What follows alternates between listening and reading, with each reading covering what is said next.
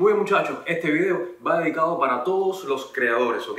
Este video vamos a estar analizando una de las lactos más poderosas para creadores de este año 2022. Una lacto que es, de por cierto, bien cara. Para los que no me conocen, yo soy Marcos, me dedico a hacer review de toda la tecnología fitness. Pero hoy vamos a estar haciendo esto porque es muy importante, ¿ok? Porque además de ser un entusiasta del fitness, soy arquitecto, soy diseñador y es a lo que me dedico la mayor parte del tiempo para ganarme el dinero, el sustento de la vida, ¿ok?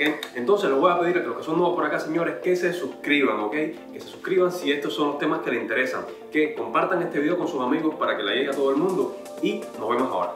¡Dale!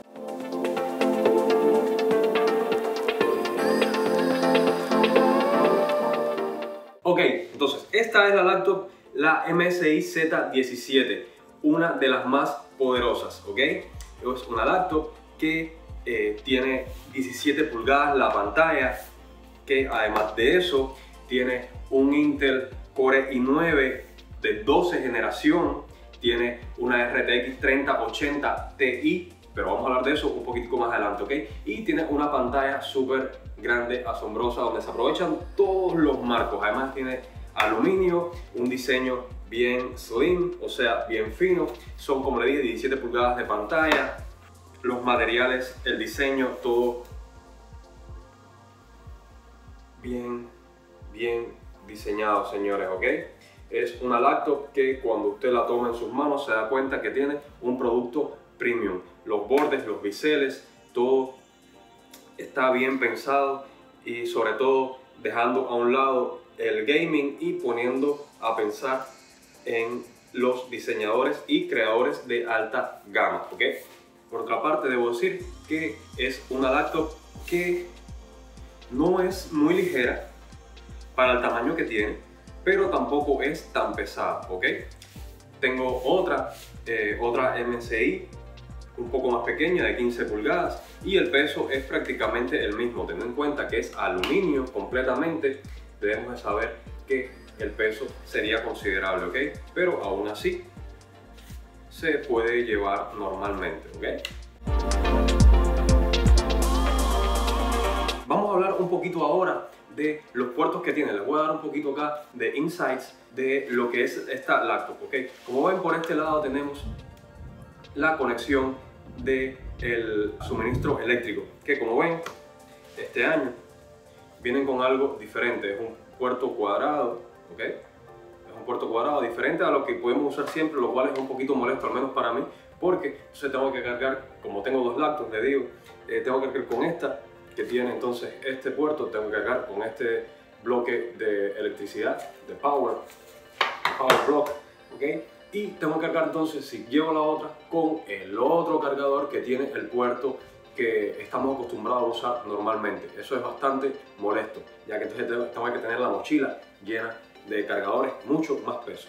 Por otra parte, el, otro cable que va conectado a la corriente, al menos este sí sigue siendo el mismo. ¿okay? Entonces, tenemos este puerto, tenemos salidas para eh, la ventilación, tenemos un puerto de carga rápida, Thunderbolt, tenemos otro más para acá, USB tipo C, tenemos además el jack para los audífonos, los auriculares, y por el otro lado, igual, ventilación, tenemos un puerto HDMI y tenemos un solo puerto USB 2.0, lo cual a mí se me hace bien molesto porque tengo que tener puesto acá el receptor para el mouse y entonces cuando quiero usar un almacenamiento externo tengo que quitar el receptor, tengo que ponerle aquel y tengo que volverlo a poner y entonces bien, bien molesto esto señor. Pero por otra parte tenemos acá un lector de tarjeta, lo cual es inconveniente para la fotografía, el video y demás cuando tenemos este tipo de trabajo, ¿ok? Por otra parte, vamos a hablar ahora de el teclado. Como ven, es un teclado bien grande, bien espacioso, señores, ¿ok? Y el trackpad que a la vez también es bastante, a mí me gusta bastante el trackpad, bien espacioso, no, no tengo quejas de lo que es eso, ¿ok? Para mí funciona bastante, bastante bien. Además, como ven acá, miren todo el espacio del audio, la salida de audio va por acá y se escucha bastante bien, ¿ok? Ahora otro lado, por la pantalla, como ven, es una pantalla que no es muy flexible, no ofrece tanta flexibilidad, pero es bien bastante fuerte y consistente. Por otra parte, cuando abrimos, como ven, es bien segura. Y por otro lado, cuando abrimos completamente, se levanta, como ven por acá, para que entre mayor ventilación para la parte de abajo, señores. Ahora, a la hora de abrirlo, es un poquito complejo también. A mí al menos, como ven, me cuesta trabajo. Por más que tiene acá una abertura, siempre me cuesta trabajo abrirlo. Tengo que introducirle el anillo y levantar. Es la única forma que tengo de abrirlo. Bien, entonces vamos a hablar ahora de acá por qué fue que yo compré esta lacto, ¿ok?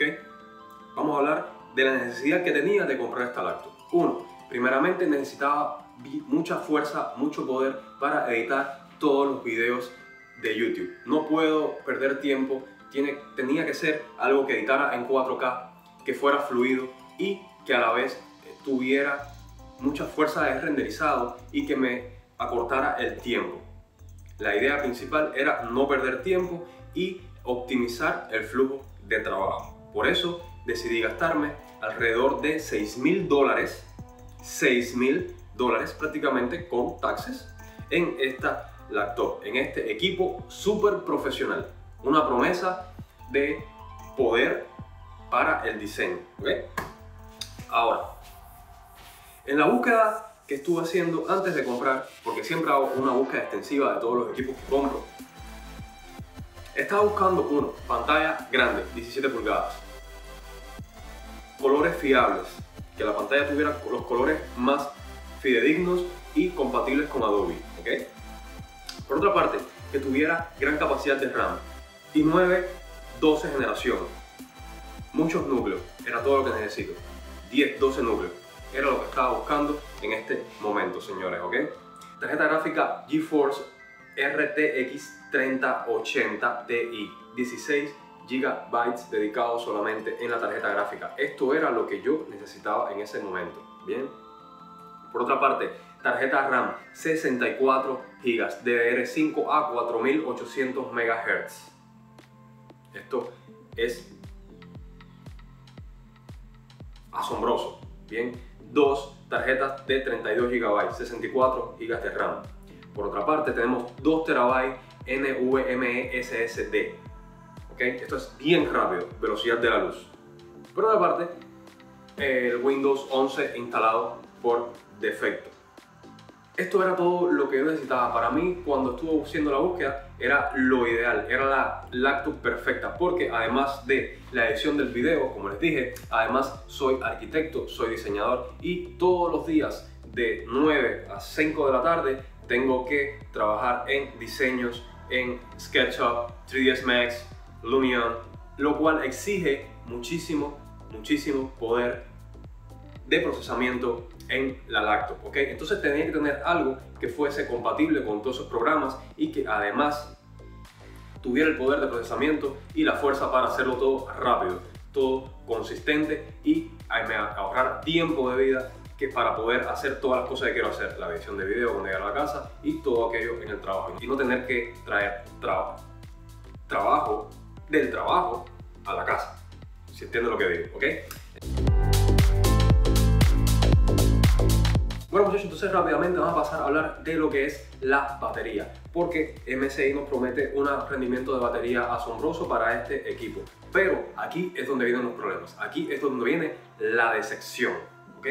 Porque habiendo pagado 6 mil dólares por esta laptop, por tener un producto tope de gama, por tener un producto que es lo último en tecnología, donde nos prometen que vamos a tener todo lo necesario para hacer eh, los trabajos de que requerimos como profesionales del diseño y creatividad, es donde viene la frustración, ¿ok? ¿Y a qué viene esto? Bien, la primera vez, desde la primera vez que la utilicé, instalé todos los programas que tengo que instalar y, desgraciadamente, la desconecté de la corriente, se reinició. Me dio una pantalla azul, ¿ok? Y no fue solo una vez, me ha ocurrido cada vez que tengo abierto un programa de alto consumo, se me reinicia la computadora. Y ya lo último que pasó fue que teniendo abierto solamente el Microsoft Edge, o sea, el buscador, el que trae por defecto Windows 11, la computadora se reinicia una detrás de otra vez. Pantalla azul, Pantalla azul, no es un reinicio, no, es pantalla azul, lo cual es bien preocupante. Ahora, yo me imagino que sea un problema de utilización de electricidad, de eh, racionalización de electricidad, de tratar de ahorrar energía al estar desconectada de la corriente y que pasa de la GeForce RTX 3080 a la Iris de Intel, que es a la Iris, que es la tarjeta gráfica de Intel interna que tiene esta lacto. Y al no poder esta, la Iris con el nivel de procesamiento que requieren los programas de 3D, los programas de edición, entonces es donde ocurre el colapso y se apaga la lacto. Es lo que la experiencia me dice que debe hacer. No creo que sea un problema de hardware, yo creo que aquí tenemos un problema de software, ¿ok? Entonces, de igual manera, no puedo arriesgarme con esto y la verdad es que ahora mismo no sé ni qué hacer con esta laptop. La verdad, tengo dos años de garantía premium, por la cual pagué, no fue gratis tampoco. Y la verdad es que no sé qué hacer, yo creo que la voy a devolver. Creo que la voy a devolver y voy a probar con Asus, quizás una Asus ProArt, que es como lo similar a la Studio de MSI. En verdad me lo estoy pensando. Muy bien señores, entonces, como vieron, estos fueron mis impresiones, mis comentarios sobre la MSI Z17 eh, Studio, ¿ok? Espero que este review les sirva a muchas personas que tomen al tomar una decisión, al saber qué van a comprar. Como les dije, es una computadora que reúne todos los requisitos para ser una ganadora, pero que al menos esta que yo tengo acá me está dando un problema que es un serio problema.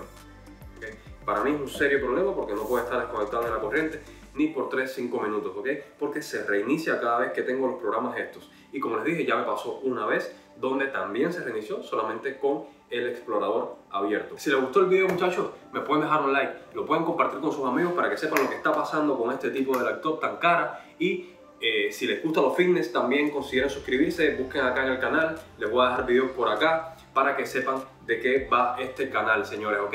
Si les gusta toda esta tecnología, si les gusta todo lo que está relacionado al fitness, entonces consideren suscribirse y nos vemos en algunos de estos videos. ¡Dale!